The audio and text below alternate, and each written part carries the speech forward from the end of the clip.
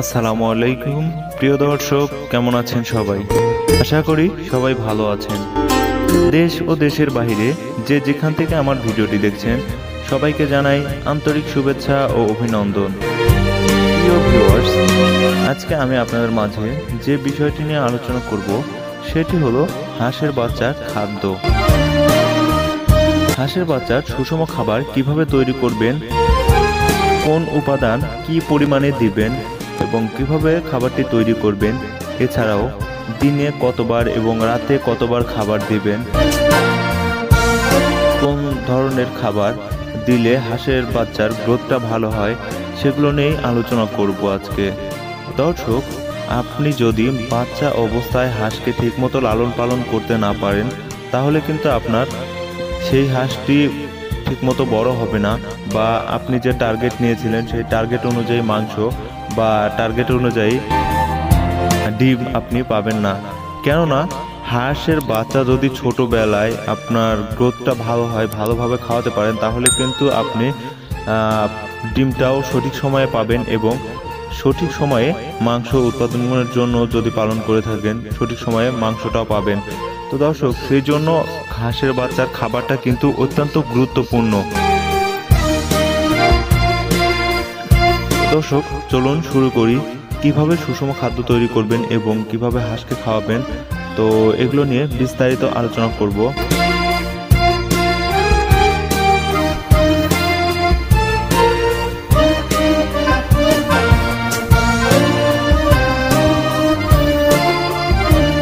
হাঁসের বাচ্চার খাবার ব্যবস্থা।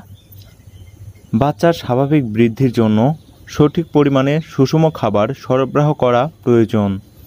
এই খাবারে বিশ পার্সেন্ট প্রোটিন, উনিশশো পঞ্চাশ কিলো ক্যালোরি মেটাবলিক শক্তি, এক পার্সেন্ট ক্যালসিয়াম, শূন্য পয়েন্ট পাঁচ পার্সেন্ট ফসফরাস ও অন্যান্য প্রয়োজনীয় খাদ্য উপাদান বিদ্যমান থাকবে।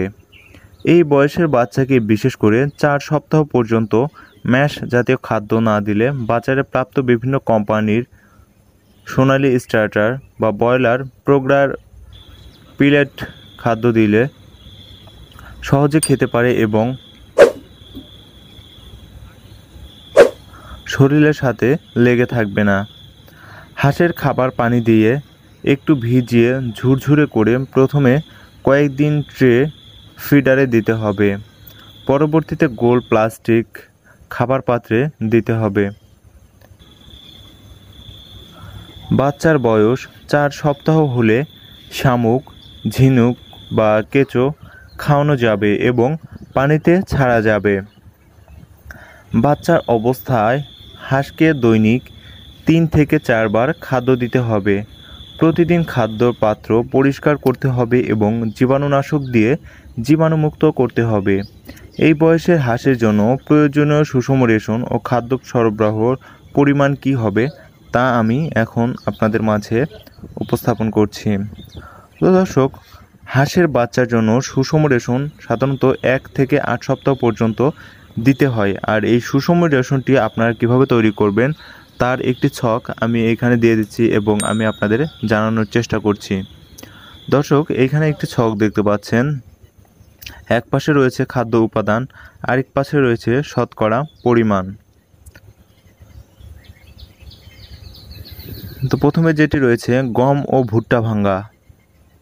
ষাট কেজি চাইলের কুড়া দশ কেজি, সয়াবিন খোল বিশ কেজি, মিট বন বা প্রোটিন কনসেন্ট্রেট আট দশমিক পাঁচ কেজি, ঝিনুক বা চুনাপাথর গুঁড়া এক কেজি, লবণ শূন্য দশমিক পাঁচ কেজি, ভিটামিন মানে মিনারেল প্রিমিক্স জিএস দুইশো পঞ্চাশ গ্রাম এবং তারপরে যে দুইটি উপাদান রয়েছে, সেই দুইটি উপাদানের পরিমাণটা দেওয়া হয়নি, কেননা এইটা আপনার ডিপেন্ড করবে আপনি যে কোম্পানি থেকে নেবেন, সেই কোম্পানির এক একটা কোম্পানির এক এক রকমভাবে সেটার পরিমাণটা দিয়ে থাকে। তো দর্শক, আপনারা যে কোম্পানি থেকে নেবেন সেই কোম্পানি থেকে অবশ্যই জেনে নেবেন যে আপনি কতটুকু পরিমাণ দিবেন।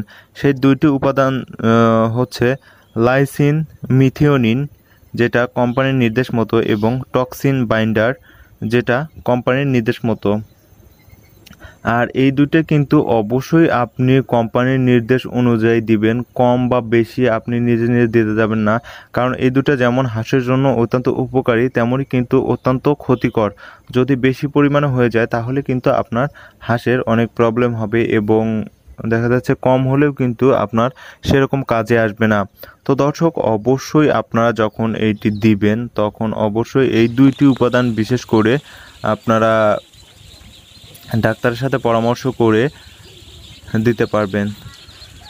তো দর্শক, আপনি যদি চান যে আপনার হাঁসের পরিমাণ কম, আপনার এত খাদ্য লাগবে না, তাহলে কিন্তু আপনারা এইটা ভাগ করে করে যদি দেখা যাচ্ছে অর্ধেক খাদ্য, এই আমি যে পরিমাণগুলো বলেছি এইগুলো থেকে সবগুলো অর্ধেক অর্ধেক করে দিয়ে আপনি খাবার তৈরি করতে পারেন।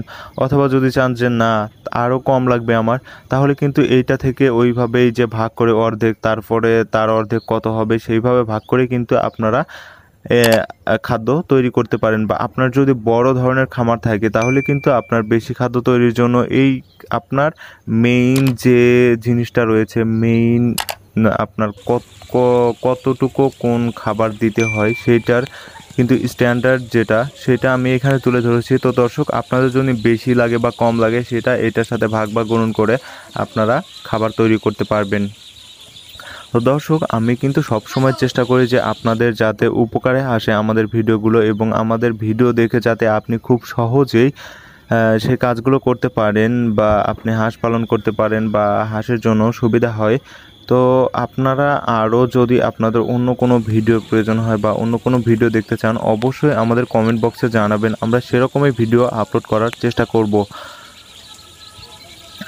দর্শক আমার ভিডিওটি কেমন লাগল অবশ্যই জানাবেন এবং আমার চ্যানেলটি যদি এখনও সাবস্ক্রাইব করে না থাকেন, অবশ্যই সাবস্ক্রাইব করে রাখবেন এবং পাশে থাকা বেল আইকনে চাপ দিয়ে রাখবেন যাতে সবার প্রথমে আমাদের আপলোড করা ভিডিওটি আপনি দেখতে পারেন। সবাই ভালো থাকবেন, সুস্থ থাকবেন।